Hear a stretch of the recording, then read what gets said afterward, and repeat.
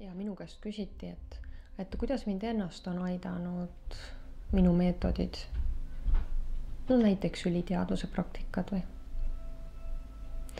mõned inimesed muidugi elavad juba lapsest saadik rohkem tundetasandil, et tegelikult ma olen oma tundetasandit, oma üliteadvuse tasandit ikkagi väiksest peale kasutanud.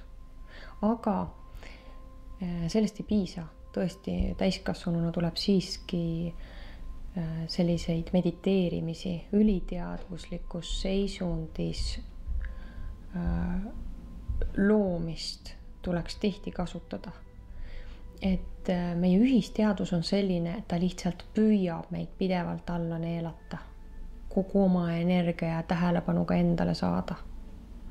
ja päris tihti tuleb teha äh, stopp-seisundeid siis, kus aeg korraks maha võtta, seisma jääda.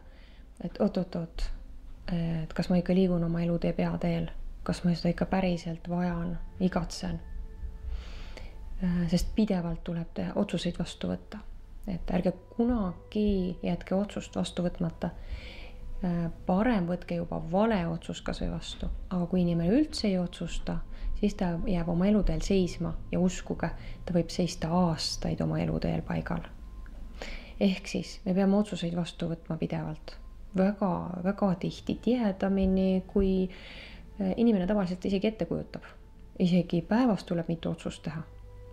ja siis enne kui nüüd otsus on natukenegi tõsisem, natukenegi tähtsam, siis tuleks korraks ikkagi üliteaduslikku seisundisse minna, tundetasandile.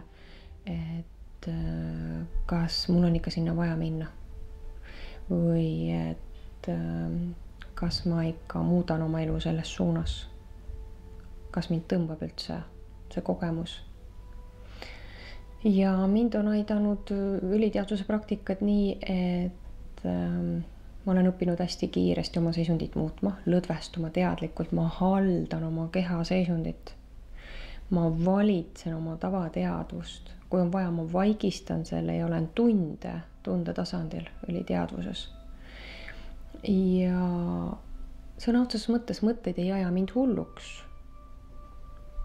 Ei äh,, ei põleta närvisüsteemi läbi ma saan hoida oma närvisüsteemi tasakaalustada olla enamuse ajast tasakaalus ja, ja see toetab keha ju äh, terveks olemist. ja tundetasandil on inimene õnnelikum.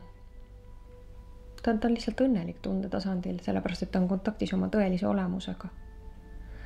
Emotsioonid ja mõtted ähm, ei ole tõelisele inimesele eriti omased.